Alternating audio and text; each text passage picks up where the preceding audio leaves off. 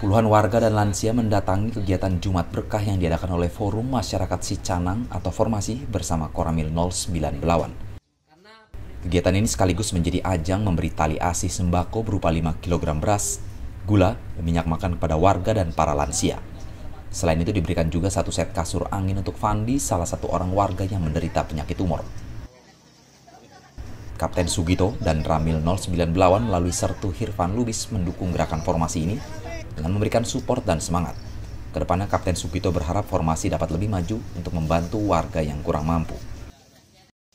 Sangat mendukung gerakan yang dilakukan oleh formasi ini. Kami sangat-sangat mendukung dan terus kami support dengan semangat untuk lebih meningkat ke depannya. Sedang Togu Urbanusi lain, Ketua Formasi mengatakan akan bekerja sekuat tenaga untuk membantu warga Sicanang yang kurang mampu sedikit meringankan beban masyarakat yang kebutuhan ekonominya sangat meningkat sementara pendapatannya kan terbatas. Kemudian kita juga sebagai memediasi lah bagaimana nanti bisa pemerintah lebih memperhatikan mereka warga-warga yang kurang mampu. Ya hari ini jumlah warga yang kita bantu ada sekitar 17 kakak, 17 kepala keluarga.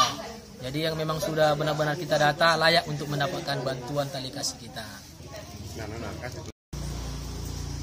Dari Sumatera Utara, tim liputan Tribrata TV, salam Tribrata. Ya, sekalian nanti kami mau penyerahan atau itu